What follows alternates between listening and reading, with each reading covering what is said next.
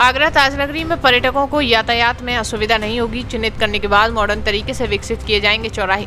Traffic police के सिपाहियों को ट्रेन किया जाएगा। रोड इंजीनियरिंग के माध्यम से अतिक्रमण भी हटाया जाएगा। वहीं पर्यटकों की सुविधा के लिए पर्यटक पथ के निर्माण पर विचार भी किया जा रहा है।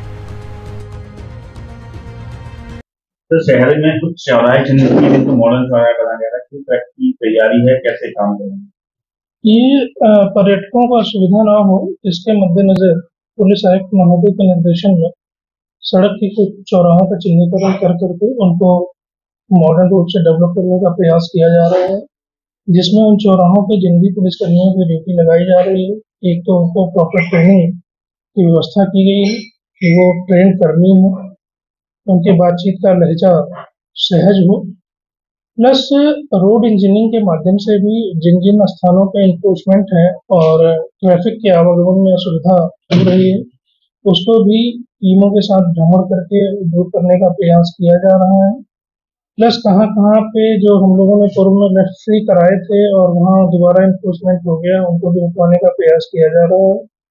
यह एक जो है विस्तृत प्रक्रिया है जिसमें अन्य विभागों का भी कोऑर्डिनेशन लिया जा रहा है।